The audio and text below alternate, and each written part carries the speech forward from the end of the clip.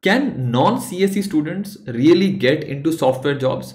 And if so, how can they get into these software companies?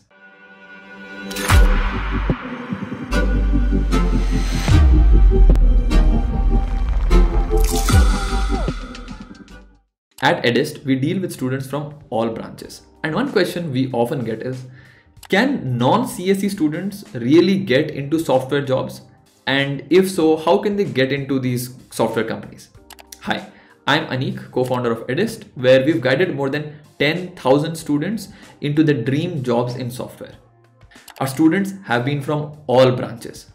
First thing I want you all to know, it is not necessary to be from a CSE or a computer science background to actually crack software jobs. You can be from ECE, EEE, mechanical, civil and any other branches, it's completely fine. What you need to know actually is coding, that is software programming. The level of coding depends on which company you are aiming for. There are three types of companies overall. Number one, services companies like TCS, Wipro or Infosys, generally with packages between 3 to 7 lakhs per annum and they require just some basic programming. That is knowledge of at least one programming language and some fundamentals of computer science like databases and object oriented programming. Then you have your startups and mid-sized mid-sized companies like EPAM or Juspay with packages between 7 to 12 lakhs per annum and they require some more advanced programming and at least one good project. And then you have your product companies or your dream companies like Amazon, Adobe, Google, Facebook, etc. with packages of more than 12 lakhs per annum. They require knowledge and practice in advanced data structures and algorithms as well as good projects or internships. Now, as a non-CSE student, the easiest way for you to crack a job is to actually go for one of the services companies. And the simplest programming language you can start with to get into these services companies is Python.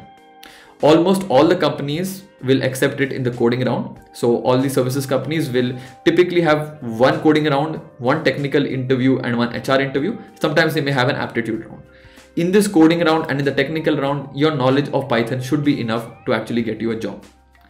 Moreover, these companies coding round is actually quite simple.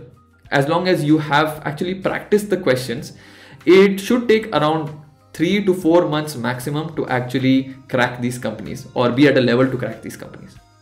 Now, it does not matter if you have done programming earlier or not. Anyone can learn programming if you are willing to put in the effort after that if you're really interested in programming and are able to you know get the concepts then you can continue preparing for higher level companies as well. So if you're a non-cse student don't worry. Start learning python or any other programming language that you find interesting and you can definitely crack a role in a services company. From then depending on your interest you can even aim higher. Do you have any more questions Please ask us in the comments below and don't forget to subscribe to this channel for more such content. Thank you all. I'll see you later.